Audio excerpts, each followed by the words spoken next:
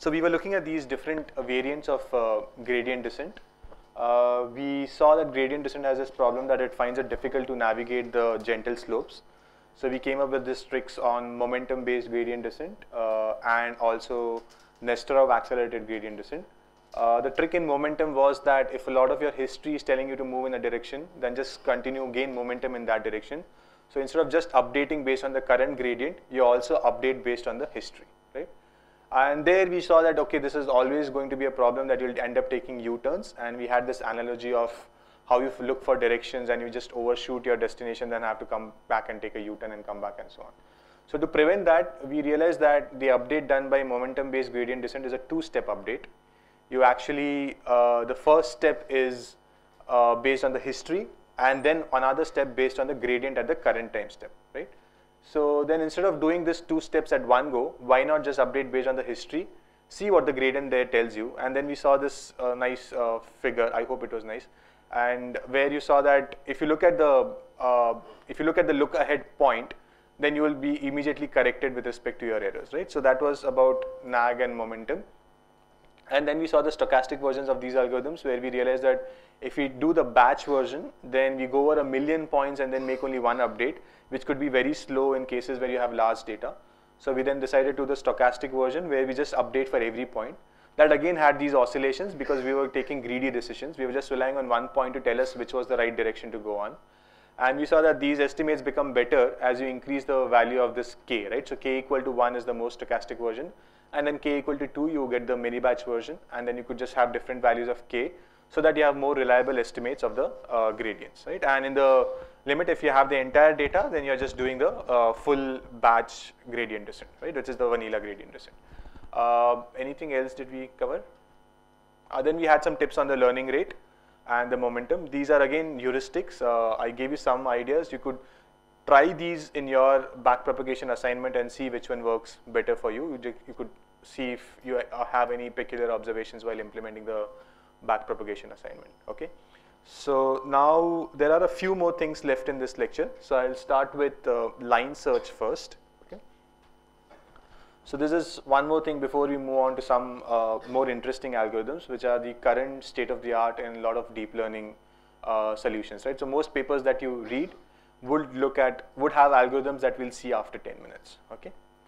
Uh, so now this, the, where is, just to uh, um, context, uh, contextualize uh, things, right? So we are still uh, trying to see what's the light, right learning rate to use. Now line search is one such method where instead of just doing one learning, so can you look at the code and just focus on this part and tell me actually what are we trying to do. How many of you get what the algorithm is trying to do? Right? So, so far what we were doing is, we were just having a single learning rate, okay? And we saw that this learning rate can make a lot of difference, right? Because if you are on the gentle part, you want a larger learning rate. If you're on the steep parts, you want a smaller learning rate. So just fixing the learning rate to one value does not really help because then you will make a, you will suffer on one of the two cases, right? Either on the gentle case or on the steep case. Now what line search does is, instead of just using one learning rate, at every step, now whether it's uh, vanilla gradient descent, which is the batch one, or mini batch or stochastic, right? Just use a bunch of learning rates. So I've used five different learning rates here, okay? And I've computed the gradients. That part remains the same, right? The computation of gradients does not change. Now you have the value. Now you want to be conservative. You want to multiply the gradient with this eta? But you know that you don't always want to be conservative. In fact, in some cases, when you're on the gentle slope, you don't want to be conservative at all. You want to actually blow up the gradients, right? So now try these different learning rates and update W and B. Okay. So if you have five learning rates, you'll get five different updated values for W comma B. Now plug in all these W comma B values into your loss function, right? And see whichever is the minimum. Retain that W comma B value and repeat the process. That means again you will compute the gradients with respect to this new value of w comma b and the new loss function. Again try out these five different learning rates and continue. Everyone gets that? Okay. So now are we using a fixed learning rate at every step? No. And now do you see that if we are at a gentle slope, it would pick probably this as the learning rate. And if we are on the steep slope, it should probably pick one of these as the learning rate or even lesser than that if you have that as option. Does that make sense? So you see the advantage of this? Now we are in some way heuristically trying to adapt to the slope of the error surface, right? By just giving it different learning rates. Okay, so you're saying try all of these, whichever works best, pick it up. Okay, uh, so that's about it. We're trying different values. Now what's the flip side of this? Now if you have k different learning rates that you're trying, then at every step you have now increased your computation k times, right? So earlier you just had one learning rate, you're just going by that but now you have k. So now this is again a trade-off which you'll have to see. Now I'll give you an example where this trade-off clearly works, right? So now if you are at the gentle slope, now making k more computations and moving out of that slope is definitely worthwhile as compared to just sticking to that slope where even after 100 more computations you will not really move out of that slope. So remember that gradient descent uh, algorithm that we had seen where you just stick to the gentle slope after 100 iterations also right? But instead, if I tried five different learning rates, then there is a high chance that I could have moved out of the gentle slope. Does that make sense? You see the advantage of this? Okay, fine. Okay.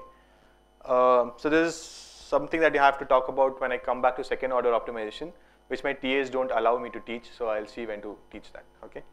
Uh, so let us see line search in action.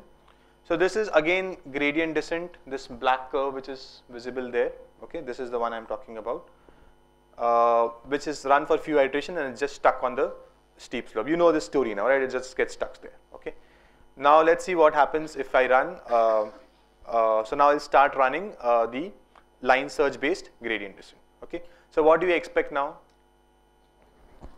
Okay, so it will just move very fast, right? So on the first step itself, it has crossed wherever gradient descent was stuck after 50 iterations or so. I'll keep moving fast, okay? Now here's an interesting question. Would you see oscillations here? So when do you see oscillations? When your loss has actually increased from whatever it was currently. Will that happen in line search? Is the answer always no? It could happen. When could this happen?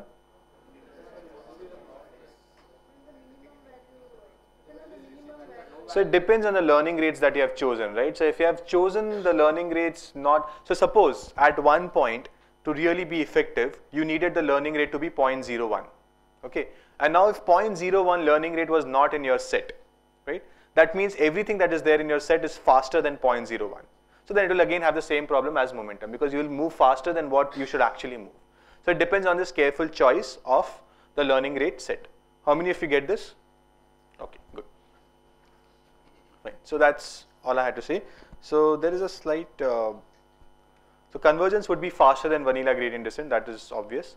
And we see some oscillations, okay? And this statement is actually wrong. We need to remove that. Okay. Uh, we see some oscillations and these could be the similar ones to the ones with, that we see in momentum because we overshoot because we have not chosen the right set of learning rates, right? One of the learning rates which was actually needed at a particular point, right? Say at this point, suppose I needed to move very slowly and that very slowly is say 0.001. And if that was not in my set, then any other learning rate is always going to be me faster than, right? So you could see oscillation.